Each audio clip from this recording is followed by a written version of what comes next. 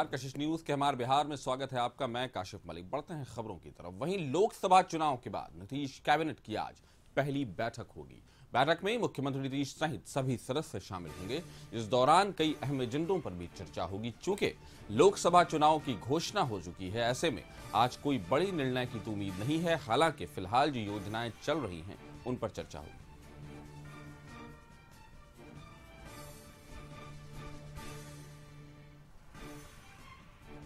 इस खबर पर ज़्यादा जानकारी के साथ ब्यूरो चीफ अमित सिंह जुड़ चुके हैं हमारे साथ। सर, ये बताएँ कि आज जो कैबिनेट की बैठक है, एक तरफ़ आचार संहिता लागू है तो तय है कि कोई नई योजना की शुरुआत की जो संभावना है वो बिल्कुल भी नहीं है।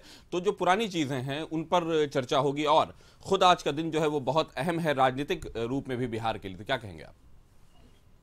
बिल्कुल काशिफ सबसे महत्वपूर्ण है कि जो मंत्रिमंडल का विस्तार हुआ है अभी अभी। इसके बाद तमाम जो नए मंत्री मंत्रिमंडल में शामिल हुए हैं मुख्यमंत्री नीतीश कुमार के नेतृत्व में तो सारे मंत्रियों के साथ मुख्यमंत्री नीतीश कुमार चुनाव की घोषणा के बाद बैठक कर रहे हैं, मंत्रिमंडल की बैठक है। हालाँकि आपने बिल्कुल सही कहा कि अब घोषणाएँ नहीं हो सकती हैं, ज़ाहिर आचार संहिता लगा है। तो जो घोषणाएँ 108 एजेंडों पे मुहर लगी थी, चुनाव के तारीखों के ठीक पहले शतक लगाया था मुख्यमंत्री नीतीश कुमार ने।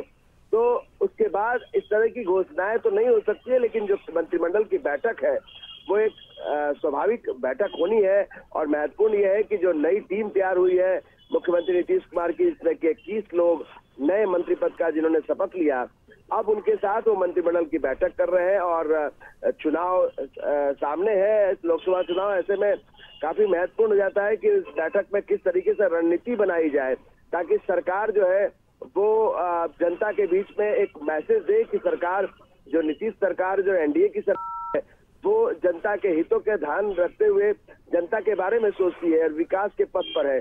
तो कहीं ना कहीं मंत्रिमंडल की इस बैठक में नई टीम के साथ मुख्यमंत्री गहन चर्चा करेंगे और जो एजेंडे हैं, उन एजेंडों पे मुहर भी लगेगी, लेकिन घोषणाएँ नहीं की जाएगी। लोक लुभावन जो है, वो एजेंडो को नहीं लाया जाएगा इसलिए क्योंकि आचार संहिता लगा हुआ है। लेकिन इसके ठीक बाद इस बैठक के बाद मुख्यमंत्री नीतीश कुमार सीधे छह बज के चालीस मिनट पर वो दिल्ली के लिए रवाना हो जाएँगे जहाँ एनडीए के तमाम बड़े नेताओं के साथ उनकी बैठक है। और जो संभावित है काशिफ की कल एनडीए अपने सीटों का ऐलान कर सकता है, खासकर बिहार के परिप्रेक्ष्य में अगर देखा जाए तो बिहार में 40 सीटों हैं तो इन 40 सीटों पर जो है, वो तमाम अपनी जो सबके अपने अपने दावे हैं तो इन दावों की जो है, वो सच्चाई जो है कि कितने जितने जो हकदार हैं, उनको उतनी सीटें मिलेगी। तो मुख्यमंत्री नीतीश कुमार इस कैबिनेट की बैठक के बाद दिल्ली कूच कर जाएँगे और वहाँ एनडीए के बड़े नेताओं के साथ बैठक करके ये उम्मीद जताई जा रही है कि कल घोषणाएँ हो जाएँगी। हालाँकि आपने सही कहा कि इससे पहले महागठबंधन भी आज घोषणाएँ कर सकता है। तो मंत्रिमंडल की बैठक के बाद ये सब कुछ तय होना है, लेकिन ज़रूरी ये है कि चार बजे जो कैबिनेट की बैठक होती है तो उसमें एक तरीके से टास्क दिया जा सकता है तमाम मंत्रियों को, जो नए मंत्री जुड़े हैं मुख्यमंत्री नीतीश कुमार के साथ, उन लोगों को। हालाँकि ये पुरानी टीम ही है, अधिकतर लोग इसमें पुरानी टीम में, पुरानी टीम के लोग हैं।